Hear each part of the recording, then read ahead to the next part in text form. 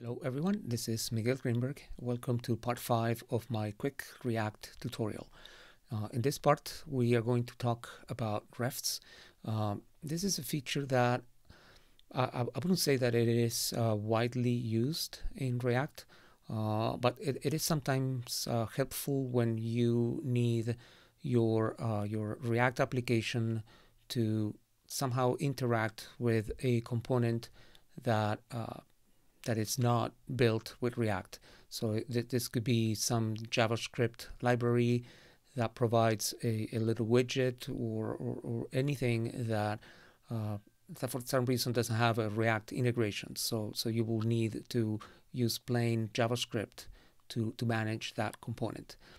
Uh, so, so refs are useful for that because they allow you to uh, to, to make a reference direct directly into a DOM element, something that um, that, that you, you cannot do when you work with React because all, all these things that you create here, they're not really uh, elements in the DOM. These are part of a, a, virtual DOM that then React copies into the real DOM.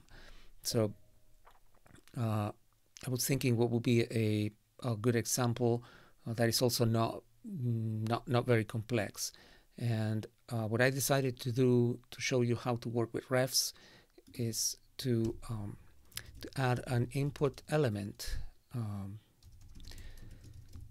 and even though there, there, are ways to work with input elements directly uh, within React, I'm going to show you a couple of things that you can do uh, to, to manage this input box using plain JavaScript. Uh, and the first thing to do to accomplish that will be to uh, to associate the element with a ref. So let's create a ref. Um, I'm going to call it text. React use ref. And then to uh, to associate the ref with the element, you add a ref attribute uh, to the element.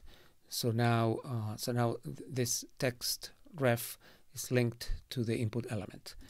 So what I can do now is I can create an effect function, which, as we've seen before, will run after the component is rendered, meaning that uh, the, the, this input element will be on the DOM. And then at that point, this uh, this ref uh, will have a dot current attribute. So text dot current will be the actual element that is in the page. So um, let's create an effect function. So there's going to be a function. Uh, we're going to put no dependencies here, so an empty list. And uh, within the function, uh, let's start by logging text.current and see what we get. Uh, so there we go. So so we we have the uh, the element. So uh, something very simple that I can do here uh, is uh, I can set focus to that element if I wanted to. So so the next time the element renders, the effect function focuses that uh, that box. I can change the style. Let's say uh, the background, um, I don't know, some bluish color. There you go. Um, uh, but but th these things are not very interesting. So what I'm going to do uh, now instead uh, to, to show you a, a, a, more realistic example of the thing the things that you can do uh, is to set up a couple of event handlers. And I'm going to set them up uh, using JavaScript instead of going through the React system so that you see that um, so you see how this is done.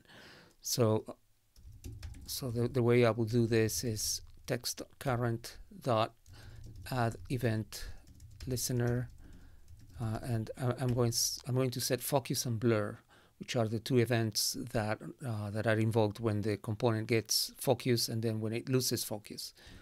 So uh, this is going to be on focus and then uh, we can do another one for the blur. And this is going to be on blur. So now uh, I can create uh, these two functions on focus.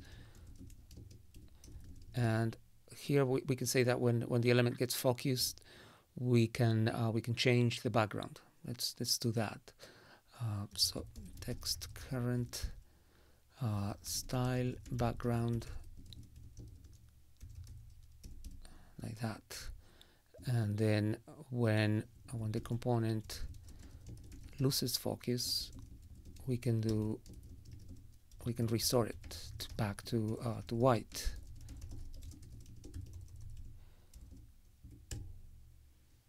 Okay so now when I get here as I enter and leave uh, this uh, this code uh, it's running. So note that the uh, the um, the render function the effect function uh, only run once and it set up the handlers. So now this is happening without requiring any renders or any there's, there's absolutely no react activity uh, when I do this.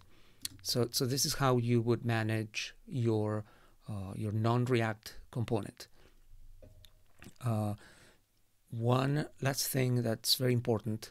Uh, so here I set up two event listeners, and it, it's always a good practice to remove the listeners when you don't use them anymore.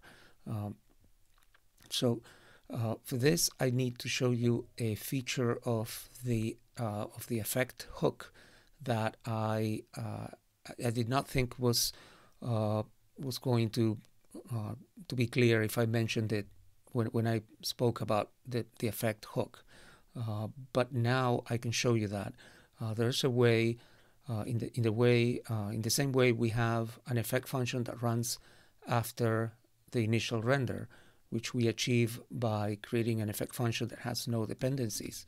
Uh, there's also a way to run a function when the component is removed, when the component is unmounted, and uh, that's the opportunity where, where you can do cleanup. So the, uh, the code that you want to run to clean up the component when uh, it's being removed is uh, it needs to be given as a return value on your effect function. So here we can return a function uh, that that takes no arguments and uh, and then does uh, any any cleanup actions that we want uh, and we, we do them here.